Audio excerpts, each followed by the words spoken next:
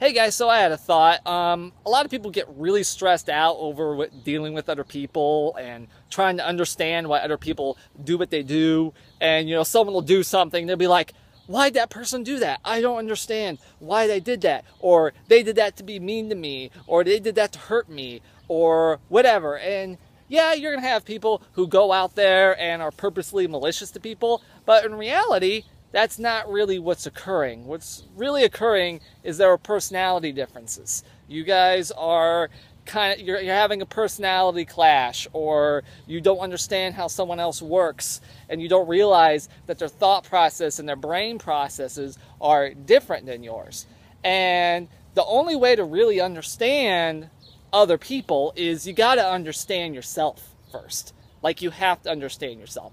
You have to understand how you work. And I don't mean know how you feel or what you think, but you need to really understand how your mind works because everyone's mind is different. I'm really big into personality typology, especially, specifically uh, Myers-Briggs. Um, I'm personally an INTJ. Um, if you don't know what that is, I'm not going to tell you go look it up because I don't have time to go into that. And if you do know what that is, you don't need me to explain it to you. And you don't have, and it doesn't have to be Myers-Briggs. It can be uh, any other personality type assessments, or you can do something. I don't know. I know there's people who are into more spiritual stuff and stuff that's a little less clinical and scientific. And if that works for you, that works for you. But the point is, you have to understand yourself, and you have to understand how you work. Because until you do that, you are never ever going to understand other people and they're going to constantly give you stress and anxiety for your entire life. And you're not going to get anywhere.